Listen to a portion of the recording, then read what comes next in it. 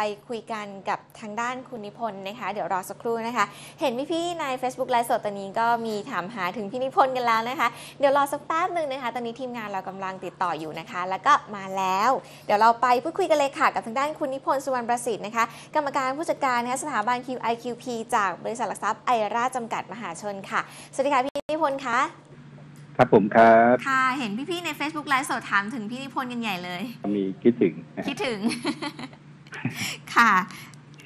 ก็อยากจะฟังภาพนะครับรวมตลาดจากพี่นิพนธ์แล้วล่ะค่ะว่าเป็นยังไงบ้าง ภาพรวมตลาดนะครับอืมก็โดย โดยภาพนะฮะก็ยังเป็นภาพใหญ่เบรกขาลงอยู่นะครับค่ะแต่ก็อยู่ในเขตโอเวอร์โซลนะครับ แนวรับก็จะเป็นก็ยังใช้แนวรับเดิมอยู่หนึ่งหกศูนย์แปดค่ะหรือต่ำกว่าก็ได้พันหกอะไรก็ได้นะครับ ตลาดก็ยังเหมือนเดิมนะครับ คุณคือไม่มีค่ะเงินเข้ามาอืม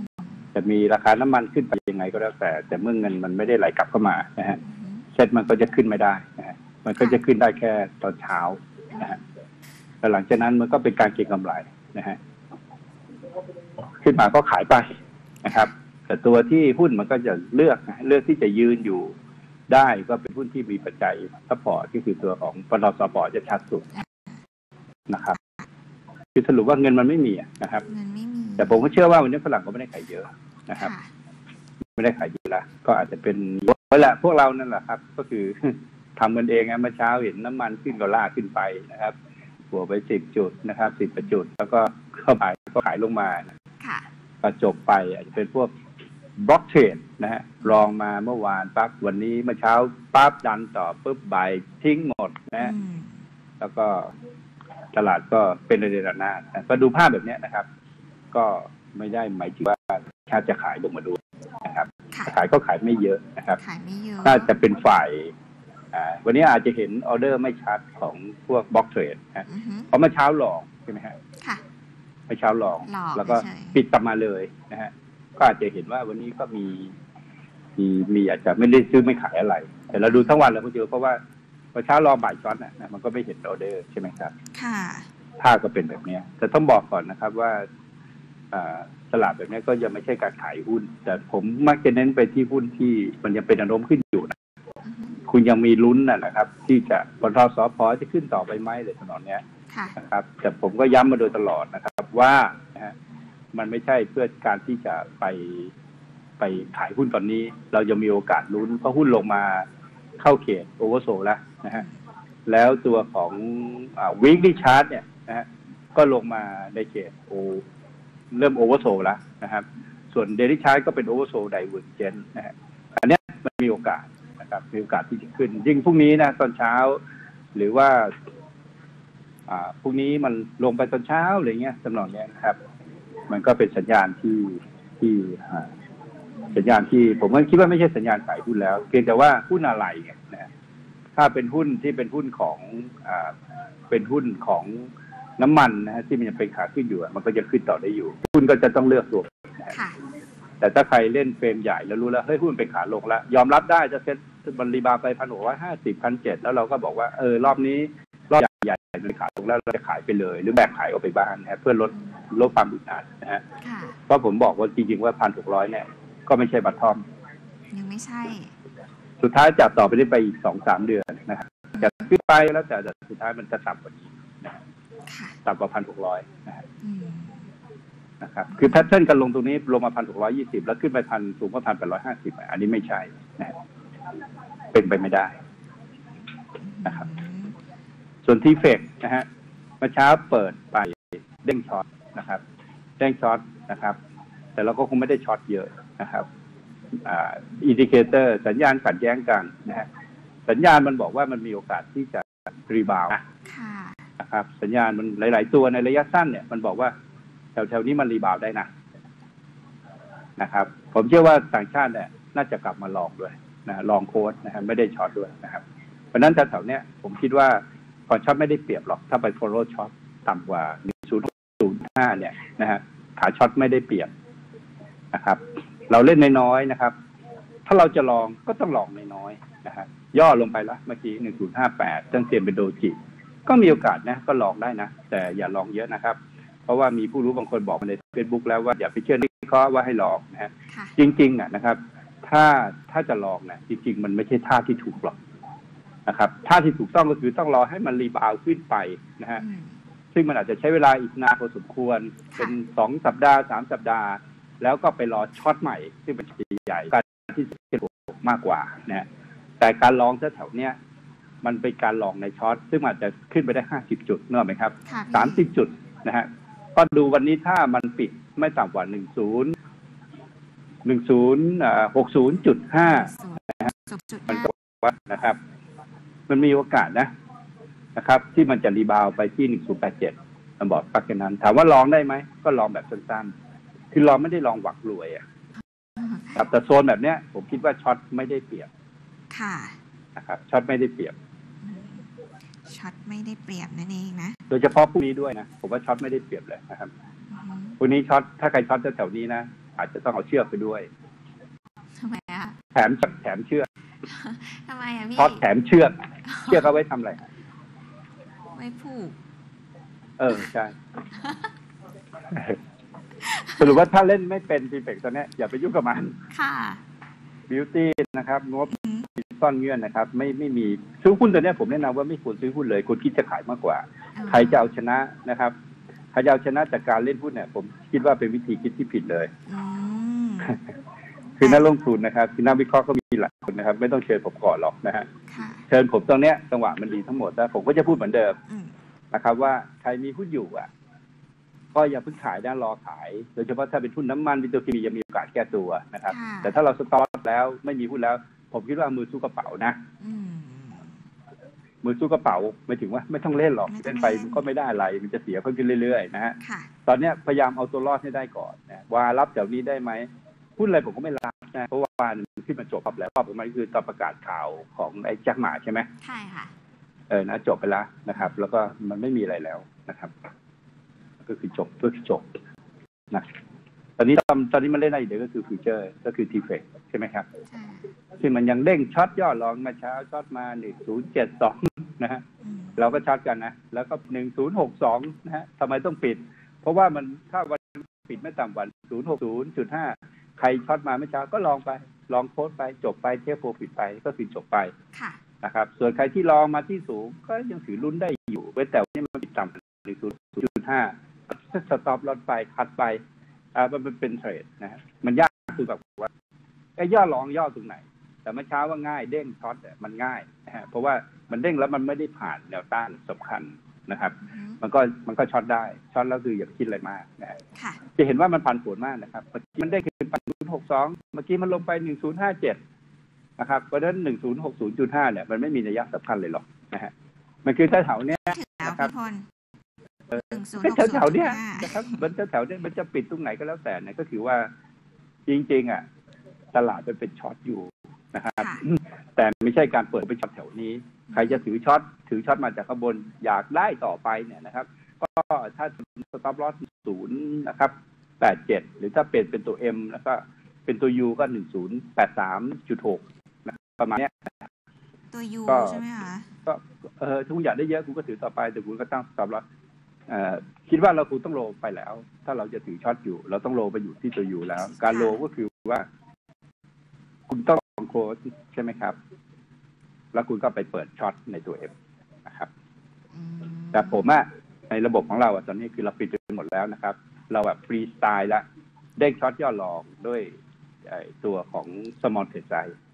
ค่ะนะครับเมื่อเช้าช็อตมาได้นะครับ เมื่อกี้ใครลองไปหนึ่งศูนย์ห้าเจ็ดขึ้นมา ลงไปหนึ่งศูนย์ห้าแปดขึ้นมาหนึ่งศูนย์หกหนึ่งจะปิดไปก็ปิดไป เพราะมันไม่มีทิศทางหรอกนะฮะมันอาศัยการดักตีบ้านนะฮะในระหว่างวันแล้วก็จบไปนะฮะค่ะจนกว่ามันจะสร้างโอกาสดีๆนะครับ ให้เรานะฮะอืมเราถึงจะบอกนะจริง ๆ เราก็บอกไปทั้งประเทศนะตอนช็อตเราก็บอกมันโดยตลอดนะตั้งแต่เดือนมีนาพฤษภาเราก็เป็นช็อตมาตลอดนะค่ะ นะครับ โดยเฉพาะเข้าเดือนพฤษภาจะเห็นว่าผมก็คือแนะนำช็อตอย่างเดียว เพราะผมรู้ว่ายังไงฝรั่งก็ขายหุ้นนะครับ ตอนช่วงนั้นน่ะมันง่าย แต่ช่วงนี้มันเริ่มยาก ยากไม่ถึงว่าไอ้ตัวที่ปัญหาหลักที่ทำให้เงินมันจะไหลออกอีกไปนะฮะผมเป็นฝรั่งนะผมก็ไม่ขายหุ้นแถวๆนี้แล้วอะอืมเพราะว่าน้ำมันมันขึ้นอยู่นะฮะผมก็ไม่รู้จะไปขายหุ้นปตทดสพเยอะๆทำไมนะครับ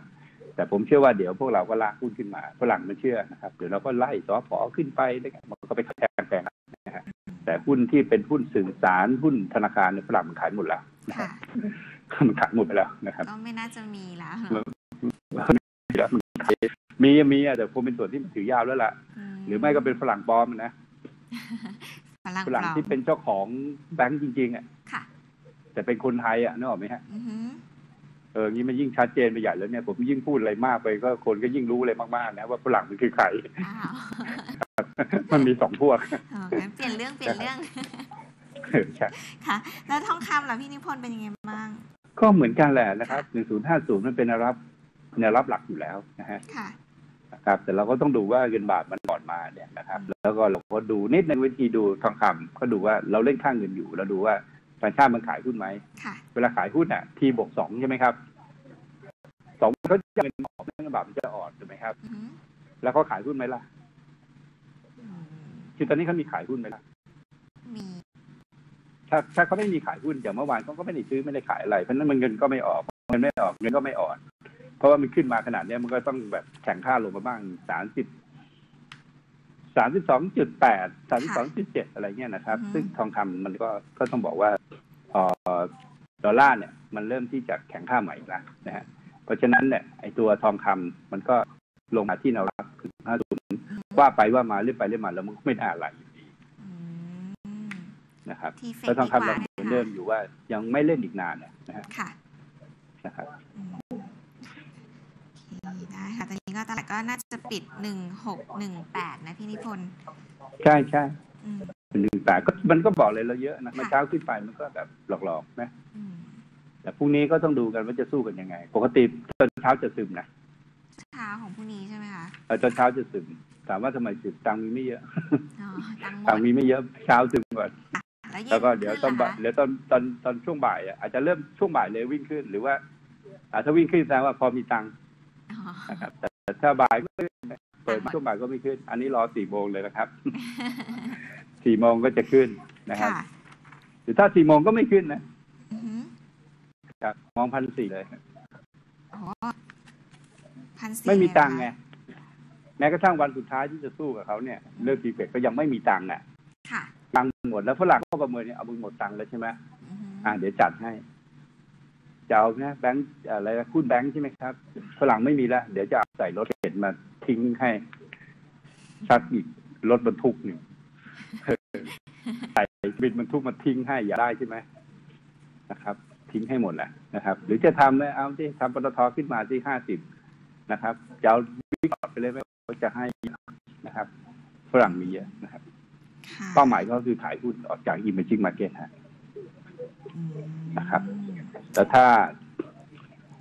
เออมีอยู่คนหนึ่งนะที่อาจจะเข้ามาซื้อหุ้นเมืองไทยนะคุณนี้ใครเอ่ยประธานาประธานาธิบดีทรัมป์นะอ๋อเพราะเขาสติไม่ค่อยดีไงทำไม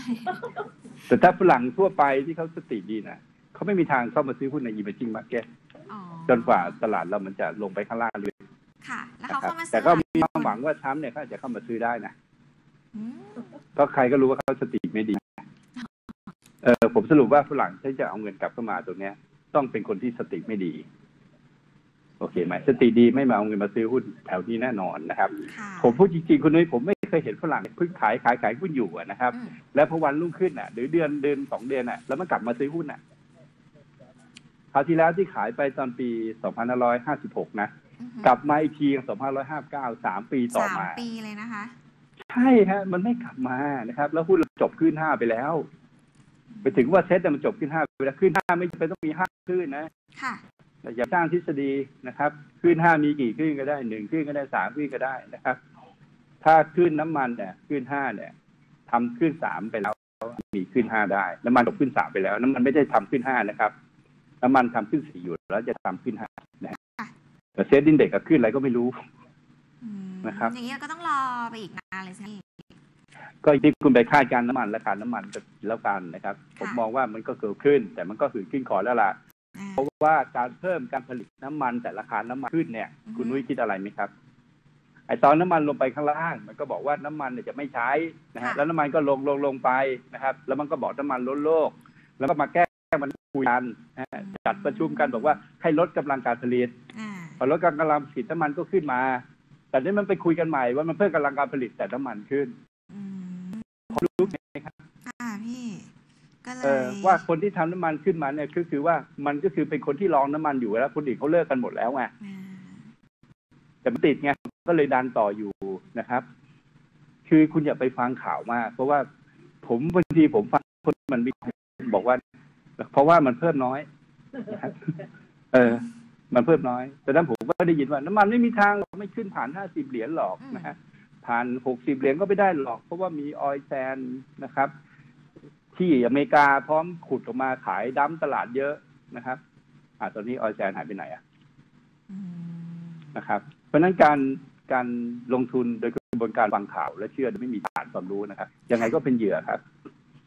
แต่คุณยิ่งไปเข้าใจน้ำมันขึ้นเพราะแบบนี้เพราะแบบนี้ทองคำขึ้นลงเพราะแบบนี้นะครับอือหือคุณไม่มีฐานของความรู้นะครับ คุณไม่มีทางลงทุนในตราสารอะไรนะค่ะ วิธีชนะก็คือหาความรู้อย่าฟังข่าวนะฮะอ๋ออย่าไปอ่านบทวิเคราะห์ที่ที่บางทีบทวิเคราะห์มาจากนักข่าวที่เป็นคนวิเคราะห์นะฮะค่ะว่าวันนี้ขึ้นลงเพราะอะไรก็หาเหตุหาผลมาแล้วเราก็ไปฟังมันนะฮะอือหือผมพูดฟังให้ฟังเนี่ยไม่ใช่ว่าผมเก่งนะผมก็เราบอกทุกคนว่าคุณลองไปย้อนหลังดูเรื่องมันครับคือถ้ามันจะขึ้นน่ะคราวหน้าเพิ่มกำลังการผลิตอีกสองล้านบาร์เรลเนี่ยมันก็จะขึ้น ค่ะพี่ โอเคไหมครับ อันนี้ก็จะมีไอ้พี่บอกก็จะมี บอกในสี่บวกหนึ่งด้วยแต่ใช่ไหน้ำมันคะเนี่ยยังขึ้นอยู่นะครับพี่ควรจะมีบอกครับวิธีการดูไหมคะในสี่บวกหนึ่งคือทั้งหมดอะคุณจะคิดอะไรก็ได้ สุดท้ายคุณดูเทคนิคอลค่ะเทคนิคอลมันจะบอกไง คุณอย่าไปเกรงข่าวนะเพราะผมเชื่อว่าหลาย ๆ คนนะวันนั้นนะเกรงข่าวใช่ว่า พอเพิ่มปริมาณน้ำมันที่มาปั๊บเนี่ยยังไงน้ำมันก็ลงแน่ค่ะจากตอนประกาศได้ขึ้นมาห้าเหรียญนะอืมเดี๋ยวประกาศเพิ่มอีกสองล้านบาร์เรลนะ มันขึ้นไปเก้าสิบเหรียญนะมันจะเป็นขาขึ้นอยู่ค่ะพี่ แล้วก็คือขึ้นก็ดูดูเทคนิคเป็นหลักอะนะครับ ไม่งั้นปวดหัวนะครับ นะครับ น้ำมันหลุดห้าสี่เหรียญเมื่อไหร่ ก็ปรปขอก็ไม่ขึ้นห้าก็คือจบมีแค่สามขึ้นเขาเรียกขึ้น X ควรจะเป็นแบบนั้นคืน x เขาเรียกขึ้น X โอ้โห X ก็คือไม่รู้ เป็นขึ้นขาขึ้นที่ไม่รู้ว่าจะมีนะครับ ว่าเป็นขึ้นขาขึ้นก็คือเป็นขึ้นในลม เขาเรียกขึ้นขึ้นต่อขยายโอ้โห X เป็นหลักการแล้วพี่เดี๋ยวเราไป ดูนะครับสิบสิบสิบดอลลาร์ขึ้นไปร้อยสี่สองอ่าฮะนึกดูดีนะครับ ลงมาลงมาสามสิบลงนะมาครับสามรอบก่อนลงมาห้าสิบด้วยนะค่ะฮะแถวสามสิบน่ะเด้งขึ้นไปร้อยสิบไม่ทำหายใช่ไหมใช่ค่ะ รอบนี้ลงมาสามสิบใช่ไหมครับ เด้งขึ้นมา ถ้ายังขาขึ้นก็ต้องทะลุเท่าไหร่นะครับร้อยสิบเหรียญกับร้อยสี่สองเหรียญฮะถึงจะเป็นขาขึ้นนะครับที่ก็เรียกว่าขา X ขา X แล้วก็ทำ A B C อืมสุดท้ายก็ลงอยู่ดีค่ะโอเคได้ก็พอจะเห็นภาพที่พี่นิพนธ์พูดถึงแล้วล่ะค่ะ ครับก็ใครลงทุนนี้เรายังผมคิดว่าคนนั้นลงทุนรอบนี้ที่ ผิดพลาดไปลงทุนขาดทุนไปนะครับตอนนี้สิ่งที่ต้องทำคืออย่าคิดเอาคืนค่ะเพราะตลาดเอาเงินคืนแล้วมันไม่ได้แจกตังค์แล้ว เงินมันหายออกจากประเทศเราไป ตอนเนี้ยสามแสนล้านแล้วนะเพราะฉะนั้นเนี่ยเราพังก็ผมเอาเงินสามล้านมาหุ้นนะครับเพราะตอนนี้เราต้องใช้งบประมาณทุ่มทั้งหมดไปที่เชียงรายเนี่ยตอนเนี้ยอ๋อเพื่อค้นหา 13 ชีวิตให้เจอโดยทุกวิถีทางนะครับ เออครับ คนทั้งหมดรัฐมนตรีไม่รู้ กี่กระทรวงหมดก็จะไปสมไปอยู่ที่เชียงรายนะครับ เพื่อจะไปช่วยคน ผมว่าถ้าจบนะรัฐมนตรีใส่เครื่องดำน้ำไปเองเลยนะครับ เข้าไปเนี่ยผมถึงจะเชื่อว่าทำประโยชน์จริง ผมว่านั่งอยู่ที่กระทรวงเธอไม่ต้องไปหรอกนะครับนะครับ ไม่ต้องไปเสนอหน้าหรอกจริงนะครับมันหน้าที่ของคนอื่นนะฮะอือฮึนะครับ ไม่ต้องไปหาเสียงหรอกนะครับรัฐมนตรีนะครับ ไม่มีประโยชน์เกะกะปากทางชาวบ้านค่ะนะฮะแต่แล้วก็รไปอแสดฟังงอำข่าวนาจดีไปอยู่แสดงเนาะอะไรเปล่าๆนะครับ เกะกะนะฮะค่ะ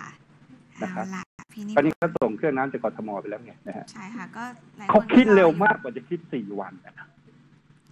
นึกออกไหมครับเขาควรจะคิดออกตั้งแต่วันแรกเนี่ยกระบวนการทั้งหมด ถ้ามันเกิดเหตุการณ์นี้จะสูบน้ำออกจะต้องทำยังไงเนี่ยเขาต้องคิดออกตั้งแต่วันแรกนะคค่ะรับค่ะแต่เขาอาจจะคิดว่าคนอดอาหารเนี่ยอยู่ได้สิบวันเนี่ยเพราะมันมีน้ำกินเนี่ยอดน้ำอยู่ได้เจ็ดวันอดอยู่ไม่มีอากาศหายใจอยู่ได้ห้านาทีไงอืมเขาก็เลยใจเย็นนะครับเพิ่งมาคิดได้ว่าต้องเอาเครื่องสูบน้ำไปเมื่อเมื่อวันเนี้ยนะอ่า ได้ได้คุมเดี๋ยวสัเราพพะก็กำลังไปทั้งหมดแต่ทั้งหมด 13 คนอาจจะไปอยู่ที่พม่านะอืมค่ะอาจจะไม่ได้เข้าไปในนั้นนะผมไม่มีใครเห็นว่าเขาเดินเข้าไป เห็นแต่โมอเตอร์ไซค์จอดอยู่นะครับอืมจักรยานคือคือผมเนี่ย ผมอยากให้มันเกิดเหตุการณ์แบบนั้นได้ไหมฮะค่ะพี่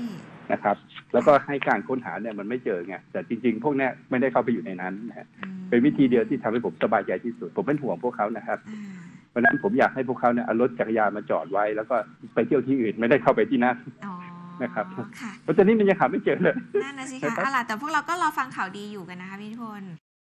ใช่เดี๋ยวเดี๋ยวเราฟังข่าวพร้อมกันเนาะเรารอฟังข่าวอยู่นะครับอ่าแต่เราก็ลุ้นนะครับลุ้นว่า เออในที่สุดขอให้มาเจอเข้าค่ะ